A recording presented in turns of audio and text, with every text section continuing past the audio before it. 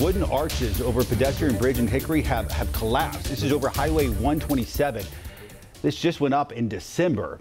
Live pictures now from the scene. It's still dark outside, folks, so it's hard to make that out. But uh, some of those uh, curved structures you see there going into the roadway, those are the arches we're talking about. Uh, we, we don't know how the arches came down, but we do know that that, that area, like much of the greater Charlotte area, experienced some high winds overnight. Also, a, a quick uh, look at the Hickory Daily Record shows old stories about how they had some construction issues while building this bridge uh, back last year. And you can see that wooden structure completely blocking part of this roadway below. Uh, we're going to continue to talk to investigators on scene and try to dig into the history of this uh, bridge collapse um, and, and sort of what might have led up to it. Stick with WCNC Charlotte throughout the day for the very latest. The strong